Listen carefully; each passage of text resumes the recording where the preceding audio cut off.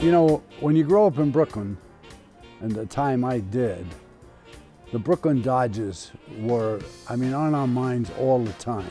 As long as I can remember, people were talking about the Dodgers. The year before, Jackie Robinson played at Montreal, which was their AAA farm team for the Dodgers. And I think that uh, Branch Rickey, who was a great, great uh, baseball man, as we know, they looked at a lot of players, but they looked at this guy. He went to college. He was in the service. He, he, he was mature, you know. Uh, and, and they wanted to bring a guy in who wasn't going to be a flash in the pan, a failure. They couldn't have picked a better guy.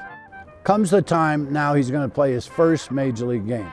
An afternoon, I think Ebbets Field sat between 33 and 35,000, you know standing room, what have you. It wasn't a big stadium. We had uh, people of color and different religions and everything in our classrooms, in our, in our neighborhoods. I mean, you didn't think twice about it. It wasn't a big deal. The big thing is, can he play? Jackie Robinson smashes a double to left field. And races on to third when he decoys Howard. And boy, could he play.